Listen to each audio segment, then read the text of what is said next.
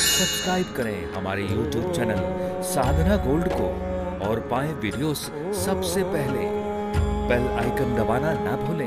Diabetic लोगों के लिए मैं एक छोटी सी बात बता दूँ कि अगर आपकी मीठे की इच्छा है तो आप शुगर फ्री चीज़ों की तलाश कर रहे हैं तो शुगर फ्री में जो धागे वाली, जो धागे वाली मिश्री होती है, वो शुगर फ्री होती है।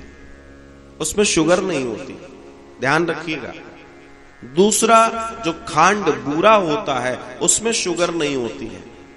तीसरा जो गुड़ होता है, उसमें शुगर नहीं होती।